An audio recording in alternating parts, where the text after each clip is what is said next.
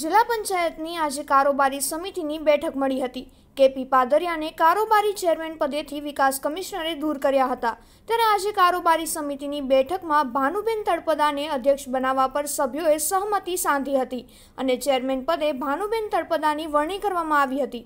જોકે નવા ચેરમેન માત્ર અઢાર દિવસ માટે રહેશે.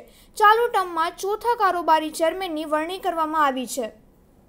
આજે રાજકોટ જિલ્લા પંચાયતની ખાસ કારોબારી સમિતિની બેઠકમાં સમિતિના અધ્યક્ષની વરણી બાબતે જે બેઠક મળી હતી, એમાં અમને જણાવું તો અમારા જે ગુજરાત પંચાયત ધારાની જોગવાઈ અનુસાર સર્વપ્રથમ કાર્યકારી અધ્યક્ષ તરીકેની એનો નિમણૂક કરવાની હોય છે. એમાં શ્રી ચતુરભાઈની એમાં કાર્યકારી અધ્યક્ષ તરીકેની વરણી કરવામાં હતી અને પછી એ કાર્યકારી અધ્યક્ષ શ્રીના અધ્યક્ષપણા હેઠળ આજે જે અધ્યક્ષની વરણી કરવાની હતી, તો એમાં નારાયણભાઈ શિરાળા તરફથી ભાનુબેન રળદ્દાના નામની દરખાસ્ત રજૂ કરવામાં આવી હતી, જેમાં કિશોરભાઈ ભદરિયાને તરફથી એમને ટેકો જાહેર કરવામાં આવ્યો અને અન્ય કોઈ નામની દરખાસ્ત આવેલી હતી નહીં, એટલા માટે શ્રીમતી ભાનુબેન તળપદાની બિનહરીફ કારોબારી સમિતિના અધ્યક્ષ તરીકેની આજની વરણી થયેલ છે.